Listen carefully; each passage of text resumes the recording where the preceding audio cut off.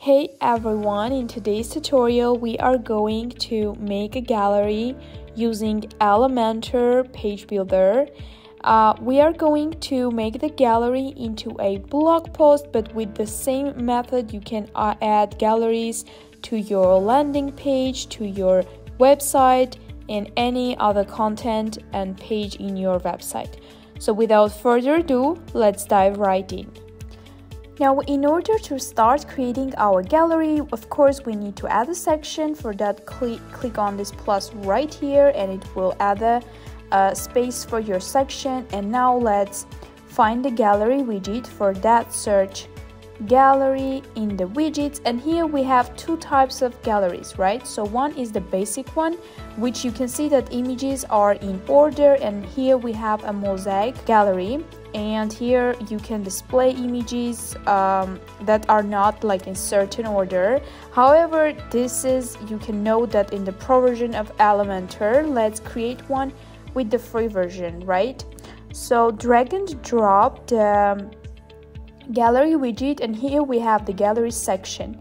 Now in order to start inserting images, click on this plus right here. Now let's choose images from the pop-ups that this um, app offers as this is a, um, an article about an app of a pop-up. So here let's choose four images. One, two, and then we have this one three right here and four. Okay now let's insert insert the gallery. And here we have a gallery that has four images.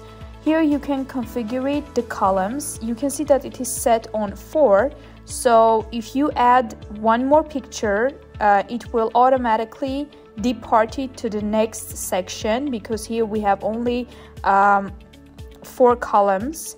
Uh, so you can set it to up to 10 and it can be by order or it can be like randomized. Uh, this is up to you. And in the style section you can uh, define the spacing between the images. And in the advanced settings there are tons of other interesting um, configurations. Like the margin the padding this is no but one thing that I like about galleries is the this transform uh, feature which uh, allows you to set a transform while hovering on the gallery. So now you can see that by default it is just a static gallery. And here when we click on hover and we for example let's choose the skew one and see what it does.